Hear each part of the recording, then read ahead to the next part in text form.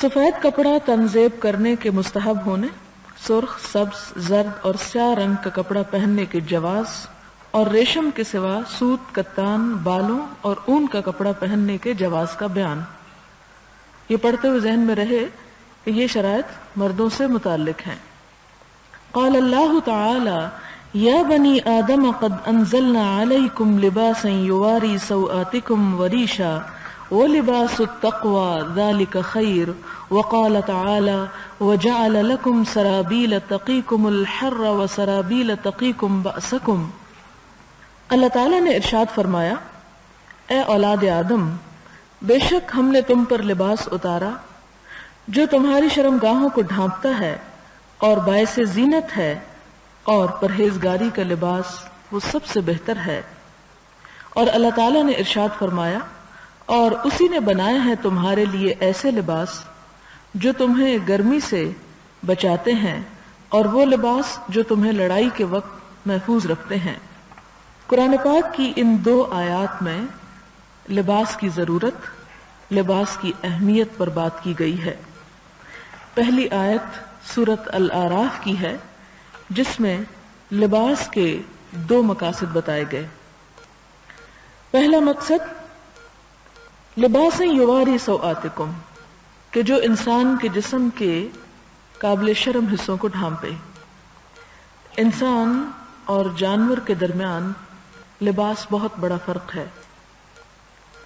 जानवर का लिबास एक मुस्तकिल लिबास है। उस मामले में उसका अपना कोई इख्तियार नहीं। जिस किस्म की खाल या बाल या पर उसके जिसम पर पहना दिए गए और जितने जितने पहना दिए गए उसके बाद उसके अपनी कोई चॉइस नहीं कि उसको वो बदल सके या उसमें कोई तब्दीली कर सके।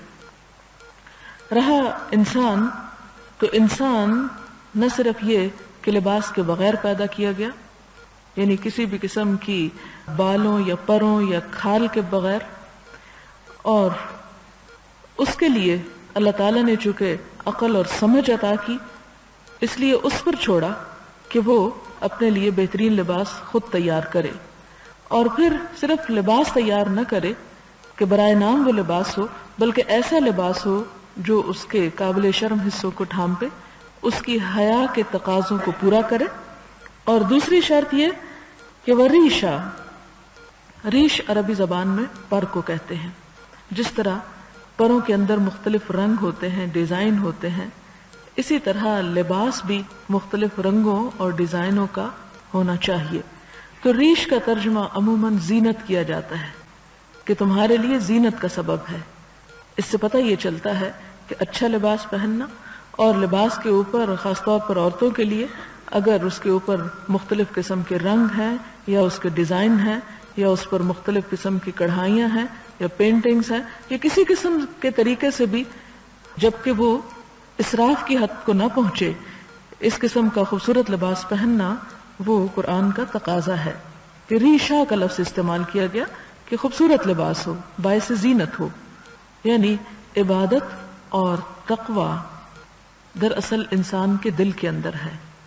ज़ाहिर में उसका इजहार होना चाहिए, लेकिन लिबास की जाहिरी जीनत भी तकवा के खिलाफ नहीं है, अगर दिल में इंसान के तकबर ना हो। जैसा कि हज़रत आयशा रज़ी अल्लाह ने आप सल्लल्लाहु अलैहि वसल्लम से अर्ज़ किया कि इंसान चाहता है कि उसका लिबास खूबसूरत हो, उसके जूते अच्छे हों। क्या ये तकबर में आता है? तो आपने फरमाया, नहीं, ये तकबर नहीं है। तकबर है हक को चुटलाना और लोगों को हकीर समझना। अगर इंसान को अल्लाह ताला अच्छा पहनने का जौक और मौका अता करता है तो उसे पहनने में कोई हर्ज नहीं। अपनी हैसियत के मुताबिक वो ज़रूर पहने। लेकिन ये नहीं कि वो पहनने के बाद दूसरों को हकीर समझे या जिन्हें वो पहनना मैसर नहीं, उनको जलील और रुसवा करे या उन पर हकारत की निगाहें डाले। लिहाजा, पहला तकाजा ये कि शर्म हया के तकाजों को पूरा करे और नंबर दो, वरीशा, खूबसूरती का सबब हो, जीनत का सबब हो। और इसी तरह रीश जो है, चूँकि परों को कहते हैं और पर जो है वो परिंदे के जिसम को हिफाजत भी देते हैं और उसे गर्मी और सर्दी से महफूज भी रखते हैं। अब देखें कि अगर परिंदे की सिर्फ़ स्किन होती जिसमें पर जुड़े हुए होते हैं तो वो अगर धूप में और ठंडक में एक्सपोज होती तो आप उससे अंदाज़ा लगा सकते हैं कि वो स्किन जो है वो जल के रह जाती। नुकसानदेह होता उसके लिए।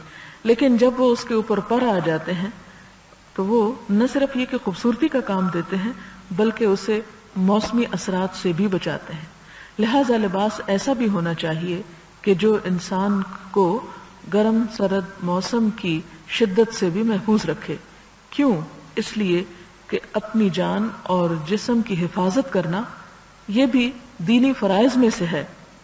इंसान जानबूझकर ऐसा लिबास न पहने कि जिसकी वजह से वो बीमार हो या जिसकी वजह से वो अपने आप को कोई नुकसान पहुँचाए। लिहाजा ये अल्फाज तो दो हैं, लेकिन इनके अंदर मानी की एक दुनिया छुपी हुई है और पूरा फलसफा लिबास का बयान कर दिया गया है कि जिसमें एक एतदाल सामने आता है। अब देखें कि तीन चीज़ें सामने आ गई। बाहया लिबास हो, खूबसूरत लिबास हो और जिसम की हिफाजत करने वाला जिसम के लिए आरामदेह लिबास हो। वह लिबास तकवा और इन सब के ऊपर जो ज़रूरी है, वो ये है कि लिबास तकवा हो। यानी इंसान पहन कर मुतकबिर नज़र ना आए, इंसान पहन कर उसके जिसम से या उसके चाल ढाल से मस्खरापन न टपके, बल्कि लिबास तकवा, ऐसा लिबास कि जो इस बात की पहचान हो कि पहनने वाला अल्लाह का बंदा है। क्योंकि इंसान अपने तौर तरीकों ही से पहचाना जाता है। तो तकवा का लिबास, उसमें क्या चीज़ आती है? उसमें फिर वही आता है कि शर्म हया के तकाजे पूरे करता हो। और ऐसा लिबास हो कि जिसे पहन कर एक इंसान न सिर्फ़ ये कि मोमिन और मुस्लिम बल्कि मुत्तकी नज़र आता हो। यानी तकवा के खिलाफ ना हो। और तकवा किस चीज़ का नाम है? अल्लाह ताला के एहसास का नाम। कि ऐसा लिबास न हो कि जिसे देख कर अल्लाह ताला की नाफरमानी का एहसास होता हो। और ख़ास तौर पर ख़वातीन के लिए कि वो ऐसा लिबास पहन कर घरों से बाहर न निकले कि जिससे उनकी जीनत का इजहार होता हो। क्योंकि कुरान पाक में औरतों को अपनी जीनत के इजहार से मना किया गया। सूरत नूर उसमें वाज तौर पर आता है कि वलायुब्दीन जीनत हन्ना इल्ला जहर मिन्हा। वो अपनी जीनत का इजहार न करे, मगर ये कि जो उसमें से खुद बहुत ज़ाहिर हो जाए। तो लिबास तकवा में जो चीज़ सामने आती है वो ये कि तकवा चूँकि दिल की कैफियत का नाम है, लिबास का अगर कोड मुकर भी कर दिया जाए कि इतनी ऊंचाई और इतनी चौड़ाई और इतनी लंबाई तो भी तकवा के जमन में वो नहीं आएगा। इसलिए इस्लाम ने ये तो नहीं आपको बताया कि कमीज कितने गज लंबी हो या कितनी छोटी हो सकती है, लेकिन उसने हदूद और तकाजे जो हैं, वो बता दिए कि क्या कुछ चाहिए अल्लाह ताला को? शर्म हया का हिफाजत, जीनत, जिस्म की हिफाजत, और फिर अल्लाह ताला की हदूद की पासदारी, लिबास पहनकर इंसान की पहचान बतौर एक मुसलमान के हो, अल्लाह के बंदे के हो। फिर उसके बाद दूसरी सूरत अन्नहल में फिर लिबास के बारे में बात की और फरमाया कि ये अल्लाह ताला की निशानियों में से है कि उसने तुम्हारे लिए लिबास बनाया, जो तुम्हें गर्मी से बचाते हैं, यानी मौसम की शिद्दत से बचाता है, और तुम्हें आपस की जंग से बचाता है। यानी वैसे तो इंसान ऐसा ही लिबास पहनेगा कि जो इसके सारे तकाजे पूरे करे जिसका ज़िक्र किया गया, लेकिन यहाँ पर ऐसा लिबास पहनने की तरफ़ भी इशारा है कि जो इंसान को जंग की तकलीफ़ से महफूज रखता हो। इससे पता चलता है कि अपनी हिफाजत के लिए कोई ऐसी जैकेट पहनना कि जिससे इंसान दुश्मन के वार से महफूज रहे, या जैसे पुराने ज़माने में लोहे की जरें वगैरह और लोहे के ऐसे लिबास पहने जाते थे कि जिससे दुश्मन के वार से महफूज रहा जाए तो ऐसे लिबास पहनना तकवा और तवक्ल के खिलाफ नहीं है। उनके पहनने की तरफ़ भी इशारा किया गया। जैसा कि आप जानते हैं कि ज़रा जो है ये तो है भी एक पैगंबर की ईजाद